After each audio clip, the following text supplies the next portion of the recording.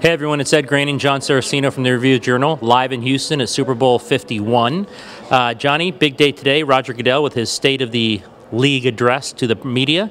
Your thoughts on it overall?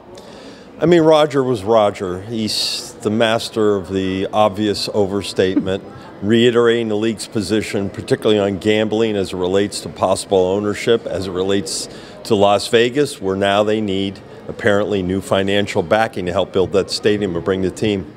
Yeah, he was pretty apparent when Jon asked him the question. They are not going to embrace casino people with casino owners or casino interests as owners.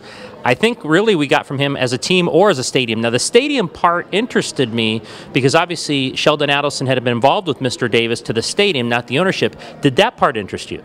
I mean, I think it's a reiteration of what the league believes. They really do not prefer to have a casino owner to be involved in any of their operations.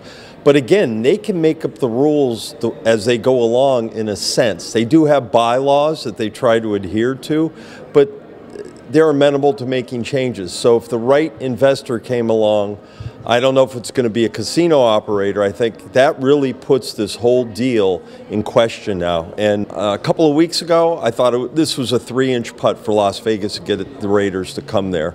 Now I think it's more like a 10 foot downhill putt at Augusta. I think it's much trickier.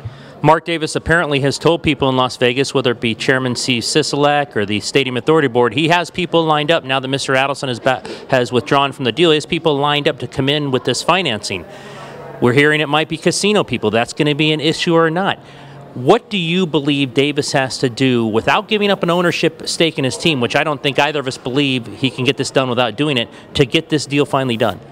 That's a good question. And that's the proverbial $64,000 question. There are more questions regarding the Raiders' potential move to Las Vegas than there are answers. And right now, we don't know. We are like shooting darts uh, and being blindfolded at the same time. It's really impossible to know what's going to happen here. But I think uh, the deal, the proposed deal, is in serious jeopardy right now. All right, uh, more news obviously will come in the uh, tomorrow and the, in the ensuing days about the Raiders, Mark Davis, who he really might have lined up or not lined up to bring to the Stadium Authority Board for the money needed for construction. Jon has a story, a couple stories in the paper tomorrow. Look for he wrote on the Raiders, but also everything else that happened at the Roger Goodell press conference today. I've got a column on the 750 million in public funds that, for some reason, people are forgetting about. Well, that's a big part of the deal because NFL owners love when the public puts forward their money to help build the stadium because usually that's the big issue. It's been the issue in in San Diego, was the issue in Oakland, in Las Vegas. The money's there. Uh, the governor has supported the idea from the start, and the money's there to do the deal. Now they got to find the rest of the financing.